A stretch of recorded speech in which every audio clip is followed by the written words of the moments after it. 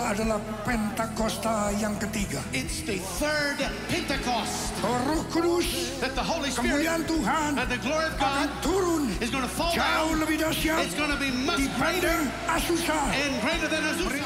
The things you're ashamed hal-hal of, yang saudara malu the mengakui things, the things you are proud of, atau hal-hal yang saudara bangga akui give them all to God serahkan semua kepada Tuhan and let God past Tuhan menguburkan masa lalumu so you can go to the supaya future. saudara masuk masa depanmu Haleluya.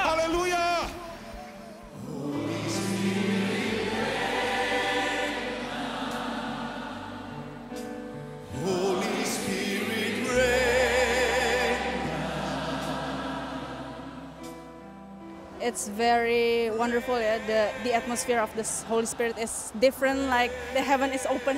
It's very wonderful. I've never felt something like this, and I've cried a lot of times in the in the worship. I don't know how to describe it, but I think a lot of people will feel the same like me. I feel the presence of God, the presence of Holy Spirit, and I'm very happy.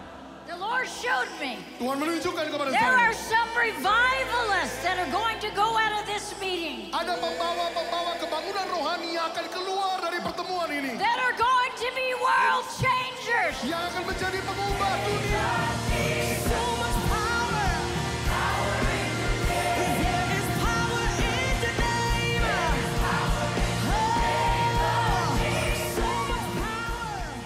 It's really an eye-opening with so many people over here, and the message that we receive is really like yet personal, yet for the community, and also for the churches. My spirit feel renewed and also I'm very excited because these meetings uh, get a new blessings for Indonesia and for all the countries. There's a new vision and new revelation they bring us that we cannot see first, now we can see. The conference is really good, blessed me a lot, and I hope everybody blessed through this conference and not stop in here, but I believe that we bring the fire home and then start spread the gospel.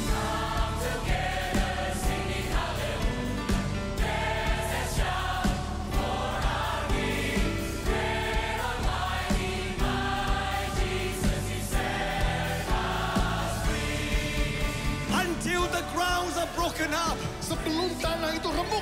Until the tears that comes from deep of our heart well up in desperation and humility. Sebelum air mata tangisan itu berasal dari kedalaman hati kita di dalam kerendahan hati. And when that happens, sebelum itu terjadi, the windows of heaven will be open. Baru kemudian tingkat langit bisa dibuka. God will pour our spirit Tuhan upon all flesh. rohnya atas semua orang.